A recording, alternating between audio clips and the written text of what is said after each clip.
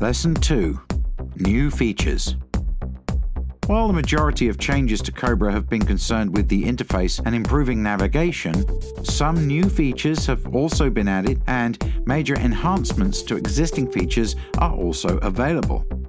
In this lesson, we'll take a closer look at the new features and teach you how to use them. The new features we will cover in this lesson are Resources in the project view, Other table improvements, Filters in the column headers, Advanced filters, Current period values, Calculated fields, Table data entry, Codes tab, and performance enhancements. Resources in the projects view. Picking up from where we left off in Lesson 1, Navigating the Cobra 8 interface, let's take a more detailed look at the changes in the project view and explore some new features that support these changes. We can now expand work packages or control accounts to see resource assignments listed below. In the time phase table on the right, we can see a summary of values for each resource. When we select one of the resources, we can see the time phase detail in the window on the lower right of the screen.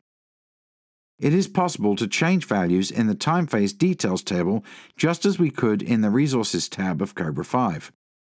Additionally, it is possible to edit values in the upper time phase table, again simply by typing new values in the required cell.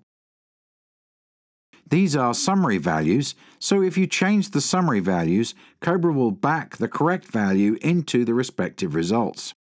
That said, it is important to be aware of the type of data that is currently being displayed in the summary time phase table area. It will display results as selected in the results field of the edit ribbon. With a resource selected in the CAWP table, let's take a look at the edit ribbon. In the data section, we can see a couple of useful tools, the Show Summary option and the Result pull-down field. The Show Summary option allows you to toggle on and off the summary values at the control account and work package levels of the table. This can be used to unclutter the screen by hiding summaries at these higher levels. It may also be useful to do this if the particular result values displayed are not necessarily logical for summarization. Keep in mind that these summary values are simply a roll-up of the displayed values, so it may not make much sense if you are summarizing a mixture of actual costs and budget costs for a resource at the work package level. The Results field allows you to select exactly what values you would like to see in the time phase table area. By default, it is typically set to show the total for all currency results. However, you might need to see just hours, or perhaps only direct dollars. Change your selection using this Result pull-down. If you wish to manually assign resources to control accounts or work packages, you can use the Assign Resource button, which is located in the Edit ribbon's Assignments section. This button invokes the Add Resources Assignment dialog that used to be accessed with a right click in the Resources tab. Spread profiles can also be selected here using the Spread button. If you wish to hide all the assignments from the CAWP table, you can uncheck the Show Assignments box. This returns the view to just showing control accounts and work packages as it did in Cobra 5.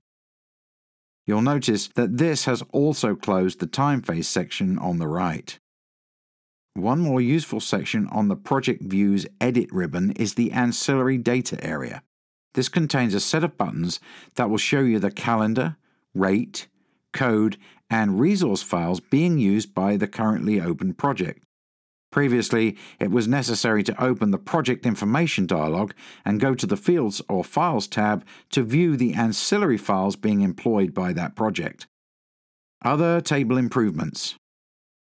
Further improvements that have been made to Cobra table views include a reduction in the number of default open columns in the CAWP area.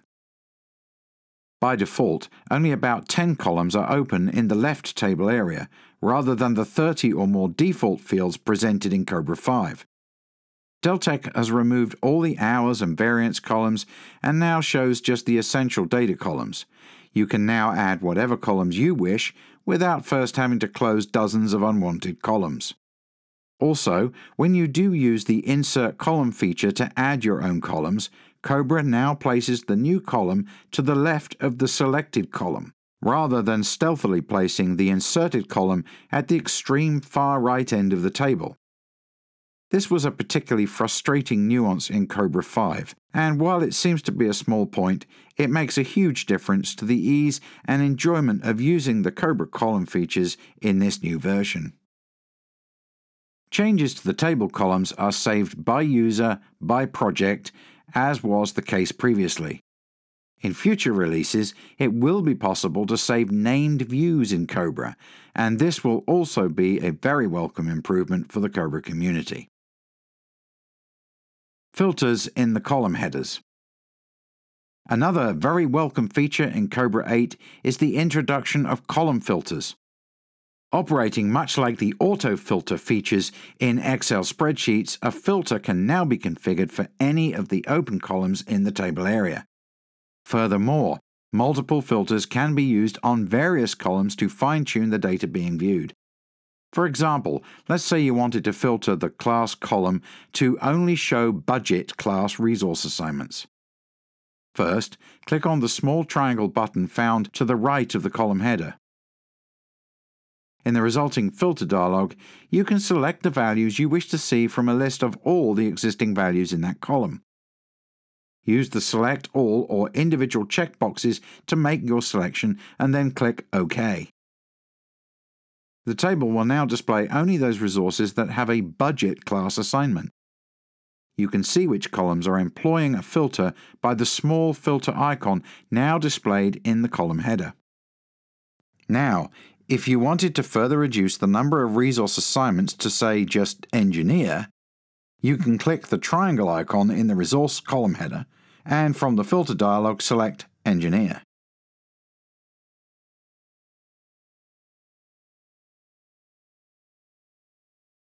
Advanced filters. Advanced filters can be used for more complex filtering that involves such things as date ranges or other items that may require more than one criteria. Each of the filter columns allow advanced filtering options to be selected using the Advanced button in the filter dialog. Some fields, such as the date fields, will offer the advanced filter when the triangle icon in the header is clicked. In the advanced filter, you can enter up to two criteria and place an AND or an OR option between each one to control the criteria data display. As with Cobra 5, it is also possible to sort on a column by simply clicking on the column header. When you do this in Cobra 8, a secondary triangle button appears in the header pointing up or down to indicate an ascending or descending order of sort.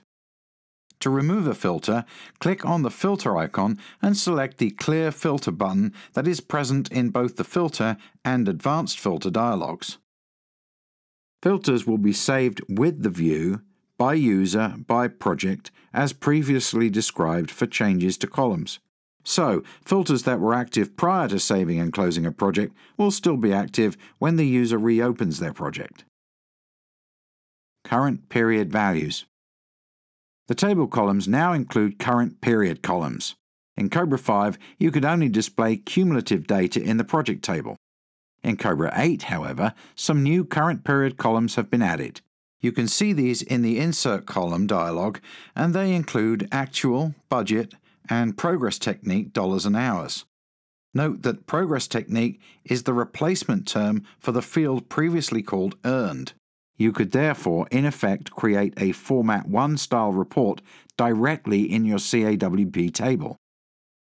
You can also easily export your CAWP table to a spreadsheet using the Copy View to Excel option that is located under the Copy button of the Edit ribbon. This has the added benefit of opening Excel for you after you have selected a file name and location. Calculated fields. You can now create calculated fields in the CAWP table of Cobra 8.